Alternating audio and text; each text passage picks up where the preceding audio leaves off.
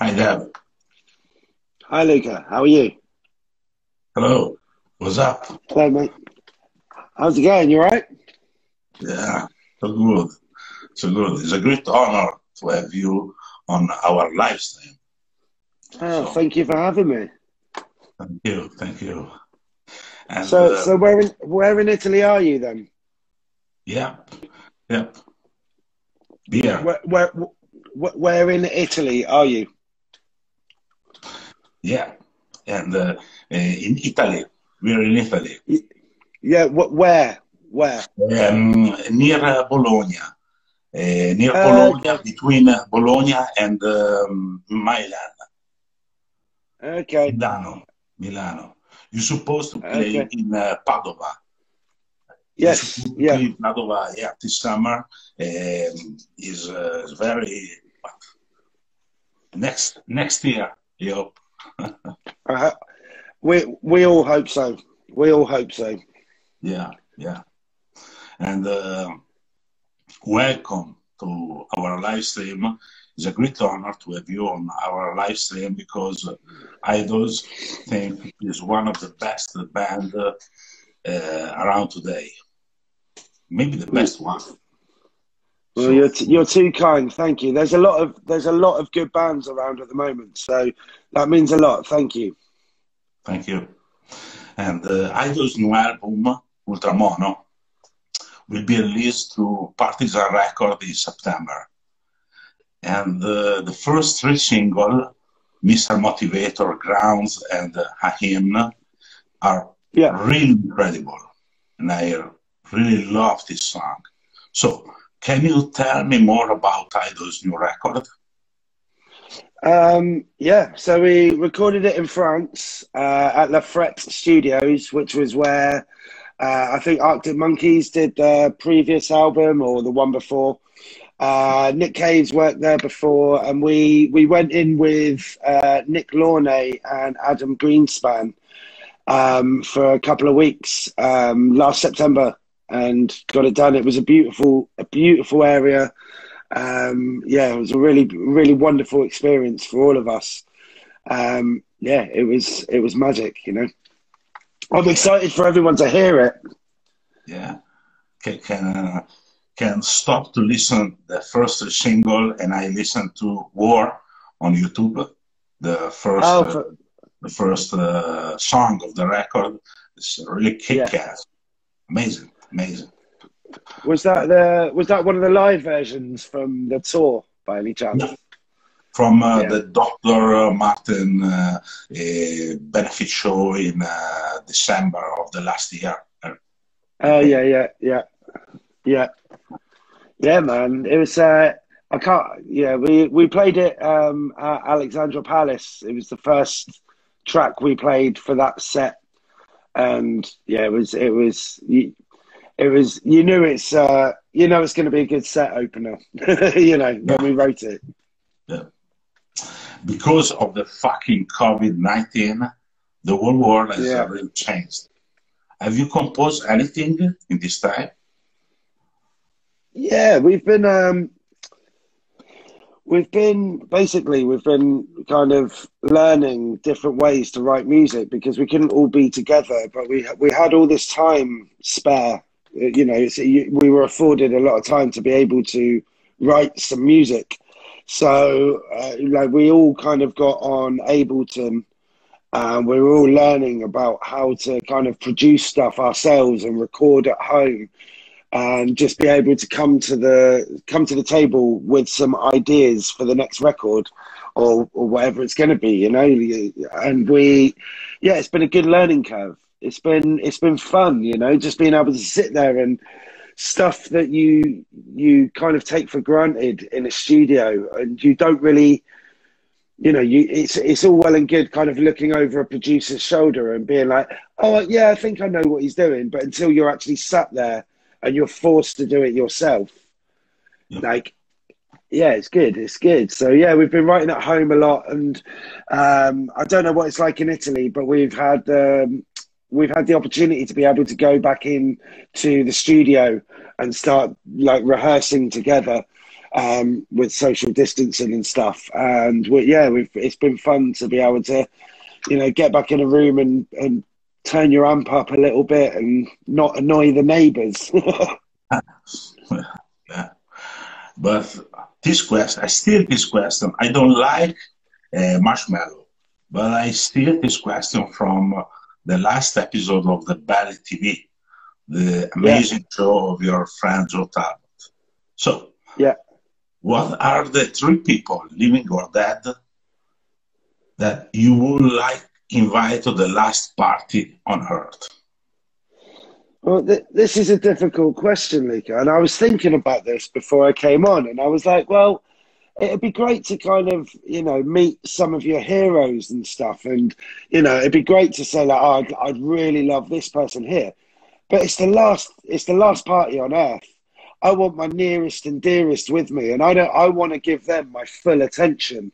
I don't want to be distracted by some people that I don't, you know, I might not you know that I don't know that I just might love their art or I love their philosophy or or their political stance or whatever it is, you know. But I think just spending it with your nearest and dearest and having a good time and really getting to know them that's that's what it means, you know. That's and that's that's that would be my ideal party, I think.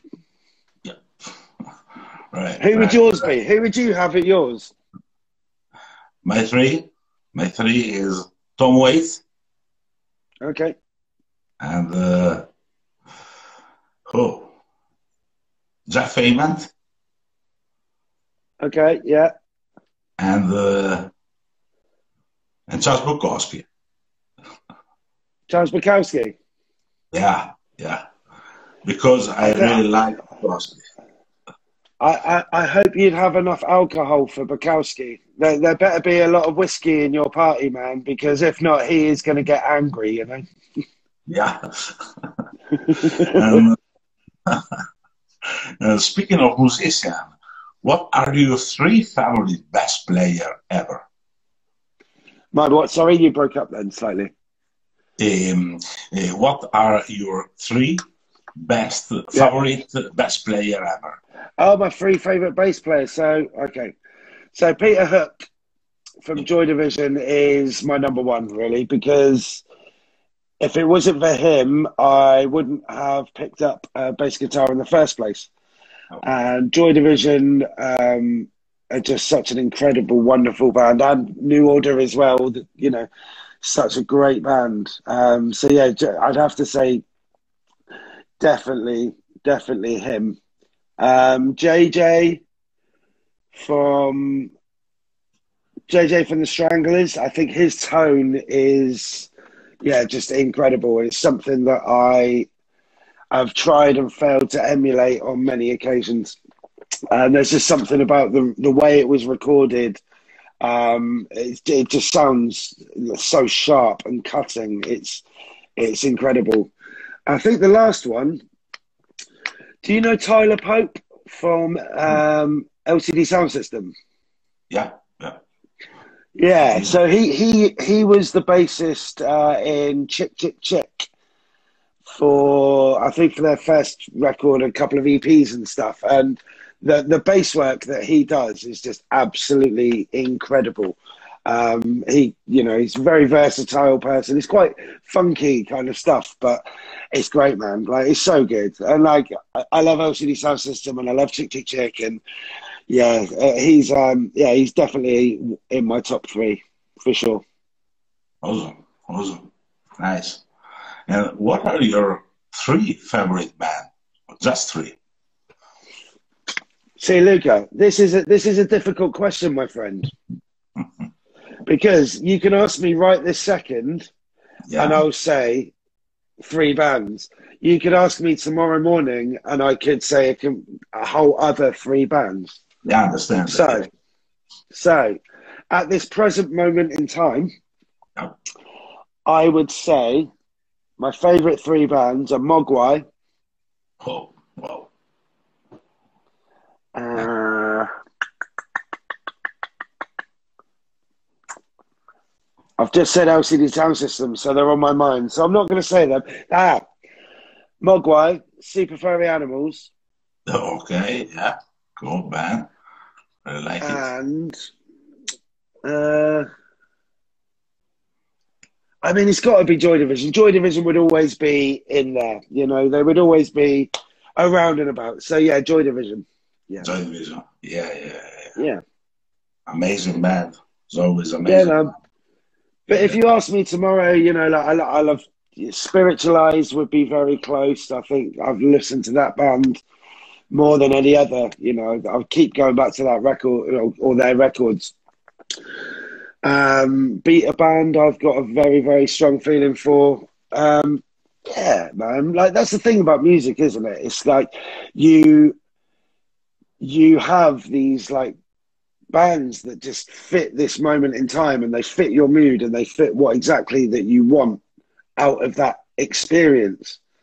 So then you can, you know, tomorrow it will completely change. And it's the fluidity that I love about music and how it can um, affect you as a person and heighten your mood or, or bring you down when you want to be brought down. It's, it's a powerful thing. And yeah, I don't know. So yeah, putting it into like three bands is very tough. Yeah, yeah. Understand very well. It's the same for me. Uh, because Yeah, man. today, I mean, like Te- Tears for Fears would be up there as well. You know, it's like that band are absolutely stunning, and like Kate Bush and fuck, there's so much good stuff, man. Like so much good stuff. yeah, yeah. What about you? What's your What's your favorite three or top three at this My moment? favorite is uh, Pearl Jam and uh, Obviously.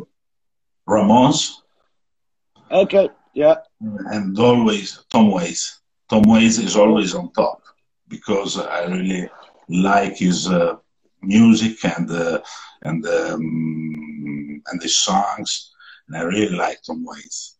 But tomorrow I, I, I can uh, uh, I can change uh, to Idles, yeah. Idles, and uh, Ramones and Tom Waits. Okay. Well, okay. So I've I've found Tom Waits quite a um, quite a hard person to get into because there's so much stuff. Yeah, It's it's kind of like you know when I was trying to get when I was first discovering Nick Cave, Yep. like tr- trying to start somewhere is like very very difficult, you know. And um, where would you suggest I start with Tom Waits then, yeah, as yeah. as someone that isn't too familiar with his stuff? Yeah, yeah. I Nick Cave. I really like uh, Nick Cave. Uh, have you seen uh, Nick Cave latest show uh, on YouTube?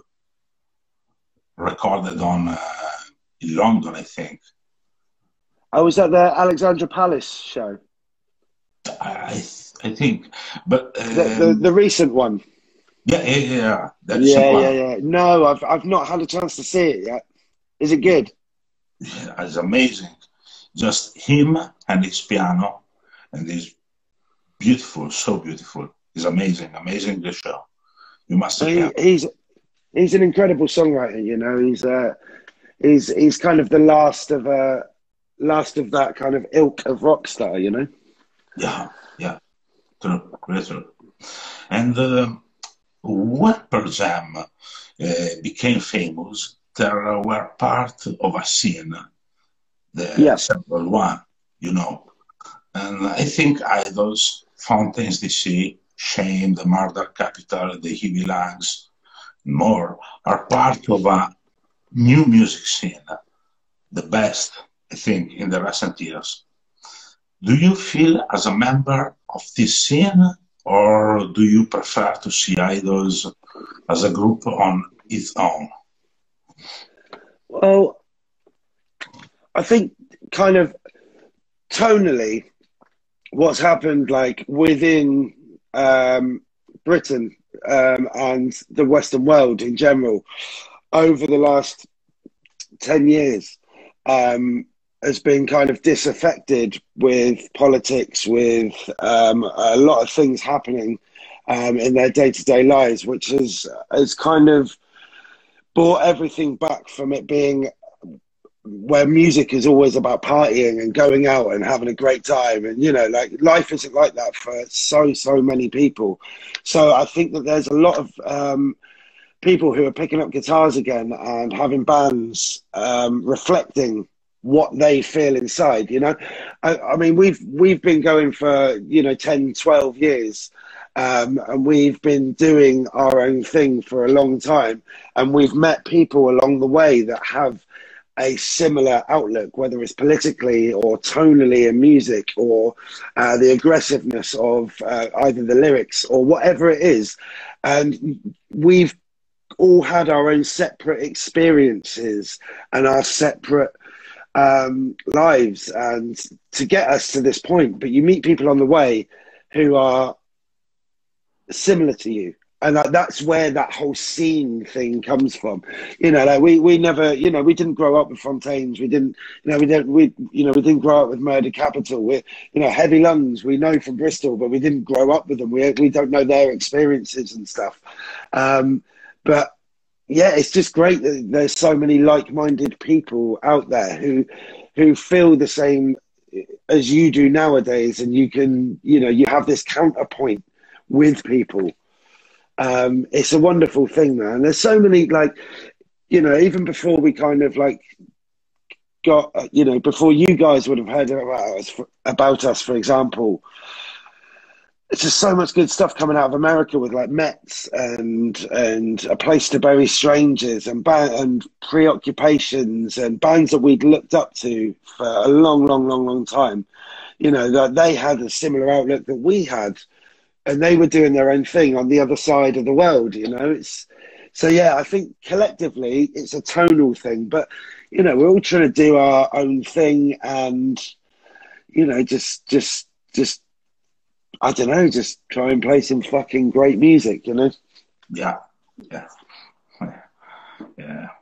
And uh, speaking of Pearl Jam, you should have uh, opened uh, some of their show in uh, Europe this summer. Yeah. But whatever. Now, Pearl Jam have announced a new uh, European tour for next summer. Will we see Idles with them on uh, some show? I mean, sadly, you are asking the wrong person, Luca. I play bass in the band. I don't really know what's going on, if I'm being honest. I get told where to go.